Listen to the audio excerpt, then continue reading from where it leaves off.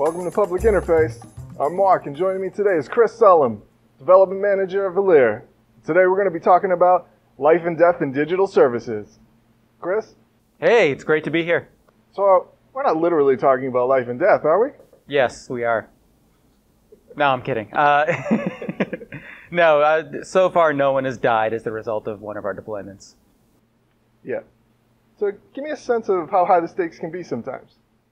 Well, you know, it, it depends really on the scope of, of what you're deploying and the nature of it. Um, you could be pushing out a hot fix that could be fixing an extremely critical bug, and that could be, you know, from the client's perspective, a really high stakes deployment. From your perspective, you know, you change one line of code, right? You swapped a greater than less than sign, you fixed a broken test, everything goes as planned, and, and you get on with your day. You're done in an hour.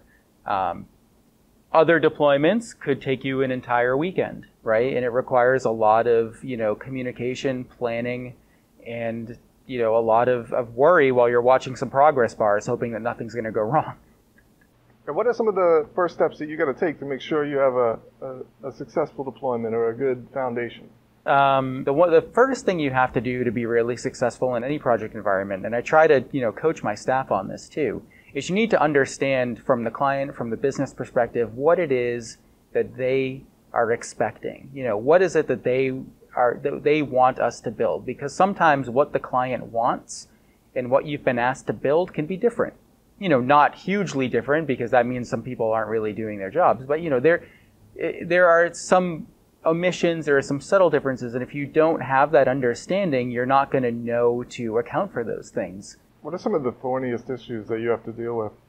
One of the one of the problems that seems really difficult up front is when you know they want a zero downtime deployment. Um, it's certainly possible, but it requires you know a little bit of planning. Um, you know, it, it's a lot easier if you have a load balanced environment because you can deploy to one server at a time and just sort of take it out of the load balancer until it's ready, and then put it back in once the new code has been deployed to it. That can become a little bit more complex if there are some other you know, steps involved in the deployment. Like let's say you're hooking up to a new web service, right?